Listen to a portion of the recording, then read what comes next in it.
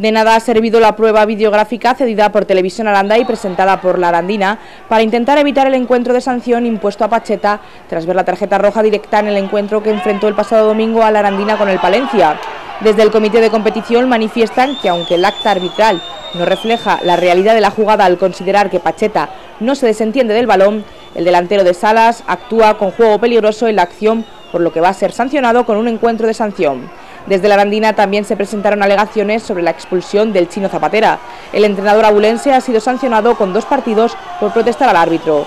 Además de las sanciones disciplinarias que tendrán que cumplir Pacheta y Zapatera, la Arandina tendrá que abonar un total de 570 euros al ente federativo tras las sanciones impuestas al club ribereño.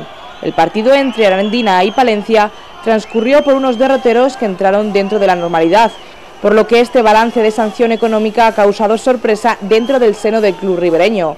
Las sanciones para el chino Zapatera y Pacheta por sus expulsiones ha ascendido hasta los 165 euros, cantidad a la que hay que sumar el dinero establecido por la federación por una tarjeta roja directa.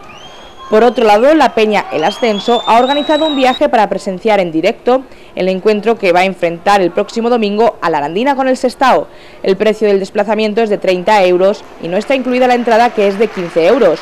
Los interesados se pueden apuntar en las oficinas de la Arandina ubicadas en las Galerías y Silla en horario de 11 a 2 y de 5 a 8. La fecha tope para formalizar las inscripciones es el viernes a las 2. La salida se ha fijado para las 10 de la mañana del domingo desde los jardines de Don Diego, mientras que la vuelta sería nada más finalizar el encuentro que dará comienzo a las 5.